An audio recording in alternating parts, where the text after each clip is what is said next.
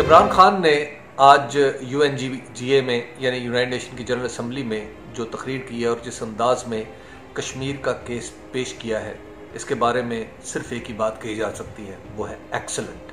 اور اگر ہم تاریخ کو دیکھیں، اپنی تاریخ کو دیکھیں، تو شاید اس سے اچھا اور مدلل انداز میں یہ کیس کبھی کسی نے پیش نہیں کیا تھا۔ اور انہوں نے دنیا کو بتا بھی دیا ہے کہ دنیا جہاں غلطی کر رہی ہے، وہ کیا ہے کہ جس طرح وہ آر ایس ایس کو برداشت کر رہی ہے، جس طرح فستائیت کو برداشت کر رہی ہے اور جس انداز میں نازیزم کو برداشت کر رہی ہے بھارت میں، اگر دنیا نے اپنا یہی وطیرہ رکھا تو پھر اس کے نتائج اچھے نہیں ہوں گے۔ بہت بہترین جو ترجمانی پاکستان کے وزیر اعظم کو خاص طور پہ کشمیر کے معاملے کو لے کر کرنی چاہیے تھی، وہ عمران خان نے کی ہے، بہت اچھے طریقے سے کی ہے، بہت بہتر انداز میں کی ہے۔ اور اب اس کے ساتھ اگر ہماری جو خارجہ سفارت کاری ہے خارجہ محاذ کے اوپر، اگر وہ بھی کچھ مؤثر ہو جائے تو پھر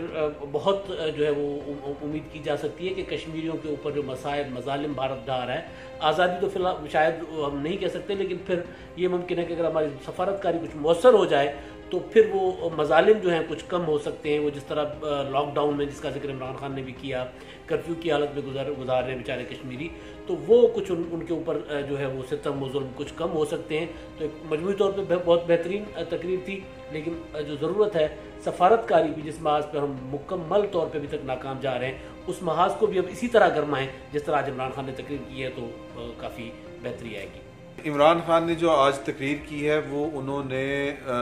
میرا خیال ہے کہ پاکستان کے کسی وزیر اعظم نے عالمی برادری کو، خصوصاً جو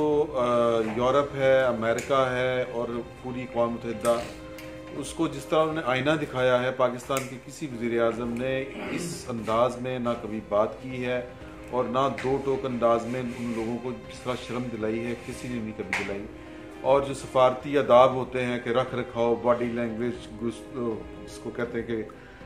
نشستن گفتن برخاستن وہ والا کام نہیں تھا۔ ایک عام پاکستانی کی طرح، ایک ایک عام سے سٹائل میں مجھے یوں لگ رہا تھا کہ وزیر اعظم عمران خان دراصل میری بات کر رہے ہیں۔ یا مجھے یہ لگ رہا تھا کہ وہ جو باتیں کر رہے ہیں، وہ میں کرنا چاہ رہا تھا۔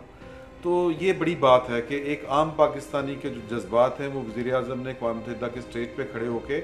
وہ پوری دنیا تک پہنچا دیے اور پوری دنیا کو اس کا جو اصل چہرہ ہے، جو منافقت ہے،